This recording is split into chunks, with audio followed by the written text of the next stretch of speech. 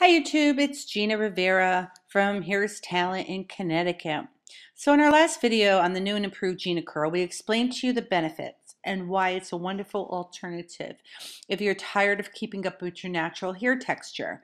Now I'm not saying that the natural hair texture is bad, please don't misunderstand me. I love natural textured hair. I love healthy hair. But if you're struggling with not having enough time, spending way too much money on hair product, or maybe you're just not getting your scalp cleansed properly and noticing scalp odor. Whatever the reason, the new and improved Gina Curl will give you a natural looking curl.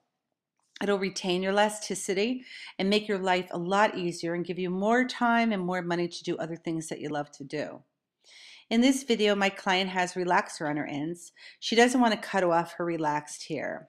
So I sat and discussed with her that her natural roots will take beautifully and the relaxed ends may or may not curl.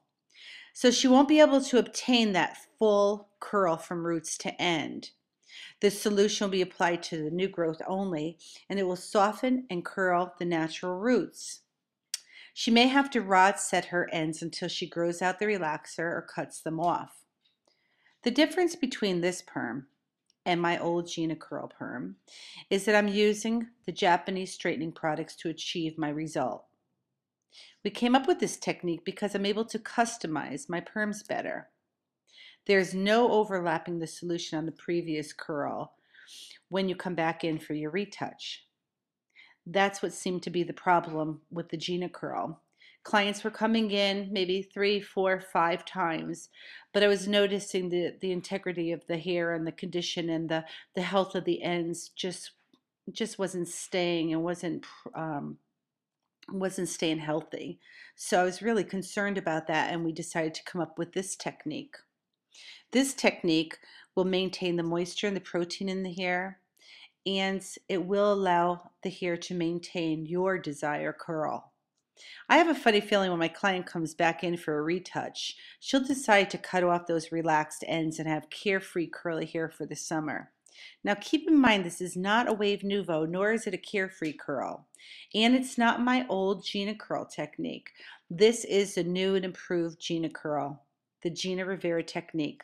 Stay tuned for our upcoming videos where we will be discussing scalp issues and techniques and products we recommend for scalp odor, scalp itching, and scalp cleansing. Thank you so much for watching. Thanks for posting us up on your YouTube channel and Facebook page. We really appreciate those that have subscribed and liked us on Facebook. And don't forget to come to www.hairstalent.com. Thanks again.